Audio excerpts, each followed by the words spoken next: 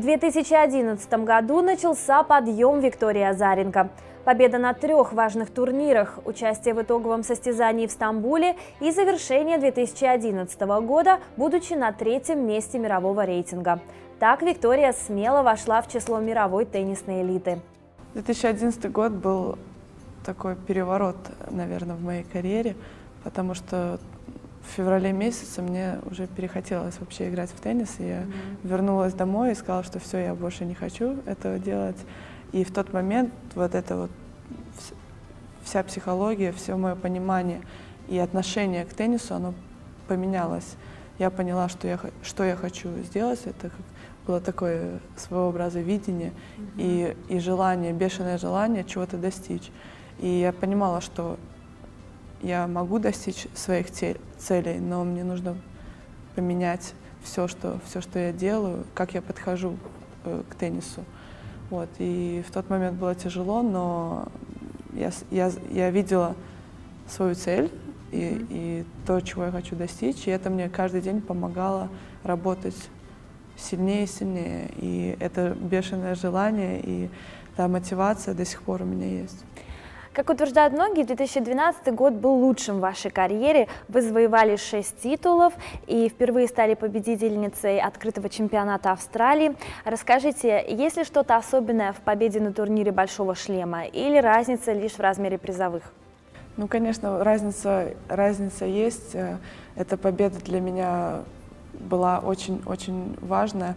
Также показать то, что я могу выигрывать турниры такого, такого ранга, а о призовых деньгах никогда не думаешь в этот момент. Это, конечно, всегда приятный очень бонус и чувствуется, чувствуется хорошо, но в тот момент э, звание титула — это то, к чему ты стремишься, когда ты совсем маленький начинаешь играть в теннис. Это была первая строчка мирового рейтинга, цель, и победа на турнире Большого шлема. И это дает своего рода уверенность силах, и это такое чувство, которое очень тяжело на самом деле объяснить словами, его нужно чувствовать, и когда и к нему потом испытываешь такую жажду еще раз почувствовать вот этот момент.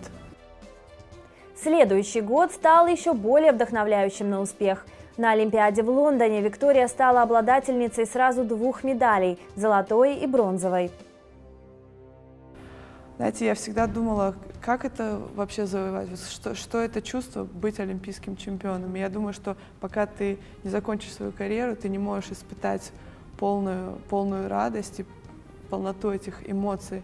Но это было незабываемое чувство, такая гордость, и потому что ты понимаешь, что ты играешь не только для себя, но и за страну и все смотрят, и все болеют. И это было супер. Она вас не давила ответственность, что я играю за всю страну, на мне лежит такая ответственность, я, я не могу подвести? Я, нет, я никогда не думаю так, потому что я, когда я выхожу на корт, я думаю только, стараюсь думать только о себе и, то, что, и выполнять свою работу.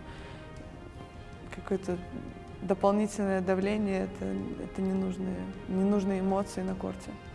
Вы как-то, мне интересно, визуализировали э, годами ранее, представляли как-то такие победы, как турнир Большого Шлема, вот олимпийская золотая медаль? Вы где-то внутри вы ощущали, что это исполнится, что вы придете туда?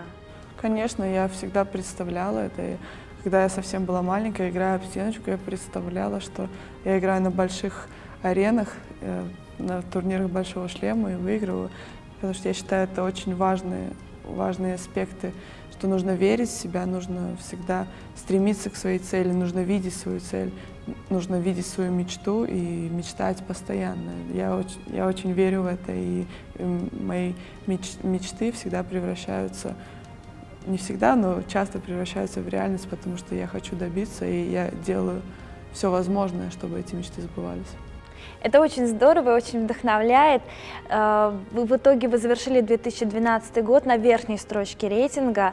Каково это ощущать себя первой ракеткой мира?